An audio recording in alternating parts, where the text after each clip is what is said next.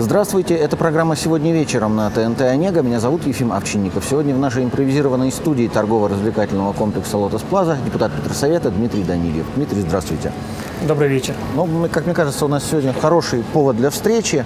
А, жители домов на Октябрьском проспекте, я думаю, заметили, что в их дворах стали появляться дополнительные места для парковки машин. То есть город прощается со старыми резервуарами для сжиженного газа, которые были закопаны в землю их оттуда вынимают, образуются новые площадки.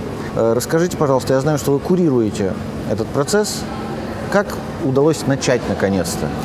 А, в 2016 году мы в Петрозаводском городском совете создали рабочую группу, э, которая занимается вопросами газификации и газоснабжения города Петрозаводска.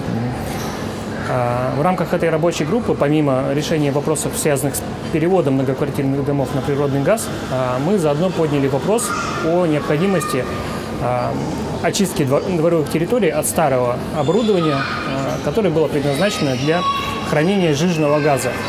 А, как правило, оно занимает достаточно большое количество места, которое могло бы использоваться как для оборудования парковочных мест, так и для благоустройства в целях размещения там детских площадок или других зон отдыха, озеленения территории. Угу. Мы этот вопрос подняли, рекомендовали создать дорожную карту по очистке города от этих металлоконструкций. В этом году АО «Карелгаз» э, пошло нам навстречу, заключила контракт с подрядчиком на уборку э, сразу 20 дворовых территорий. Это городу сколько стоит или нет? Э, в связи с тем, что это оборудование является собственностью Карелгаза, угу. город не может тратить денежные средства на его демонтаж, либо на уборку, ну просто потому что это чужое оборудование. Вот, поэтому, То есть они за свой счет делают? Да, поэтому мы владельцы попросили просто забрать свое оборудование с тех территорий, на которых он находится. Сколько еще раз дворов э, уже освободили? Более 20 а, дворовых площадок было освобождено.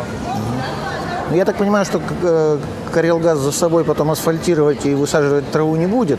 Что с этими площадками в последующем может быть? Я понимаю, так парковки или детские площадки, кто это вообще решает, кто принимает такие решения? А, данные дворовые территории а, можно благоустроить в рамках программы «Комфортная городская среда». А, в рамках этого федерального проекта у нас реализуется муниципальная программа соответствующая, которая позволяет э, благоустраивать не только земельный участок, э, сформированный в соответствии с кадастровым планом, но и прилегающие к нему территорию.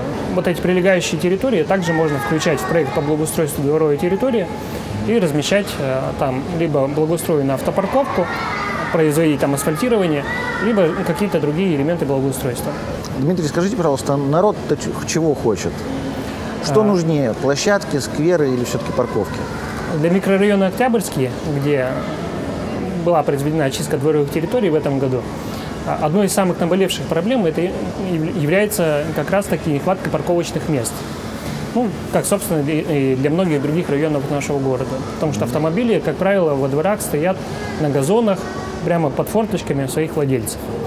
Вот. Э, за счет э, очистки территории от, газгольдеров за счет других территорий, на которых сегодня. Э, находится либо бурьян, э, либо они там, в каком-то неблагоустроенном состоянии, мы изыскали дополнительное место для размещения более 500 машиномест, которые находятся вне видимой зоны привычной для нас дворовой территории. И таким образом, благоустроив эти территории, мы могли бы переместить существующий автомобильный парк с дворовых территорий на заднюю часть двора, так скажем, для того, чтобы скрыть их от взора э, жильцов.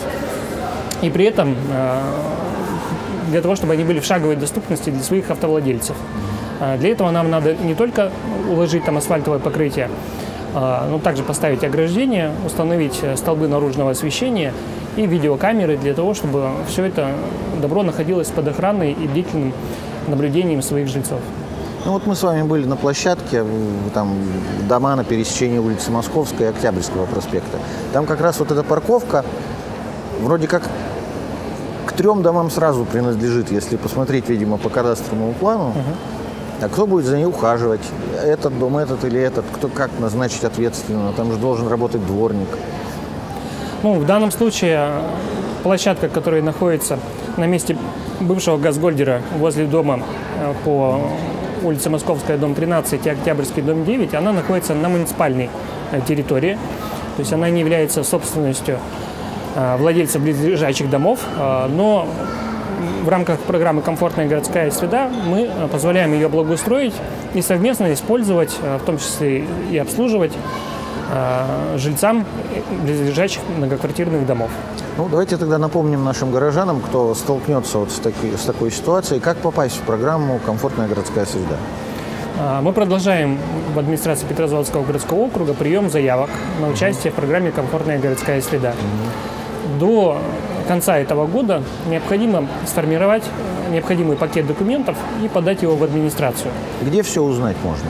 Это можно э, узнать на сайте администрации Петрозаводского городского округа. Сразу на главной странице в левом меню есть ссылка «Комфортная городская среда». Там есть э, все Э, подробности о том, как принять участие в этой программе, какие документы необходимо собрать, сформировать э, пакет документов.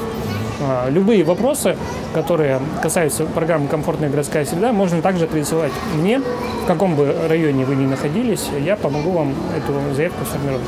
Я знаю, что некоторые дома объединяются, то есть, например, три многоквартирных дома могут подать какую-то заявку и отремонтировать что-то ну, поглобальнее, чем, например, просто заасфальтировать дорожку или установить детскую площадку. Это так? Да, совершенно верно. Для жителей гораздо экономически целесообразнее участвовать э, в благоустройстве своей дворовой территории совместно. То есть не дружить часть, домами. Да, объединяясь э, несколькими домами в одну заявку в рамках программы «Комфортная городская среда». То есть Таким можно образом, денег больше получить, да? Да, вы получаете и больше денежных средств на свою дворовую территорию. А, вы участвуете меньшим процентом софинансирования в денежном выражении, а, делая больше элементов благоустройства, а, которые находятся в рамках вашей дворовой территории. То есть это еще и выгоднее, да? Это выгодно, и это позволяет э, реализовывать такие большие проекты, вот как раз как э, одна из самых затратных статей с точки зрения софинансирования собственников. Это дополнительный вид работ а, обустройства парковочной зоны. Угу. Там жители, как правило, до 20% э, идут на софинансирование таких работ. Ну, в этом году, если мы смотрим на жителей, которые участвуют в программе, то в среднем получается где-то рублей 200-300 рублей на квартиру для того, чтобы сделать автопарковку. А почему мы все время надеемся на какую-то программу? Мало того, что мы на нее надеемся, да, комфортная городская среда, так мы еще должны софинансировать эти проекты. То есть горожан все время, все, так или иначе, деньги какие-то берутся с народа. А не должен ли город вот эти площадки за свой счет благоустраивать? Как же вы же сказали, да, что вот там некоторые площадки, которые освободились, она не тому дому не принадлежит, не тому. Это городская территория. Почему бы мэрии не, не взять и не заасфальтировать ее? Город Петрозаводск э, в рамках программы «Комфортная городская среда» финансирует все дополнительные виды работ от 97% э, и, боль, и больше. Да? То есть э, жители могут поучаствовать в качестве процента софинансирования, внести 3%. 97% за них заплатит государство те многоквартирные дома, которые участвуют в софинансировании и в разработке проекта благоустройства, не просто пришли и написали заявление, что нам нужна дорога и нам нужна парковка, сделайте нам. И потом автоматически она сделалась, все про нее забыли, а, никакой благодарности нет, а, и со временем это э, место ветшает, потому что никто не занимается его обслуживанием. Если же э, жители поучаствовали с точки зрения интеллектуальной интеллектуального вложения, с точки зрения финансового вложения в проект благоустройства, да, то и отношение к этому проекту благоустройства будет совершенно иное. Они будут пытаться сохранить то, во что они вложили свои силы и свои денежные средства. Спасибо, Дмитрий, большое. Приходите к нам еще и удачи в вашем замечательном деле. Спасибо. А, я напоминаю, что это была программа «Сегодня вечером» на ТНТ «Онега». Меня зовут Ефим Овчинников. Этот и другие выпуски ищите на сайте tnt-onega.ru, а также заходите в нашу группу ВКонтакте. Всего доброго. До свидания.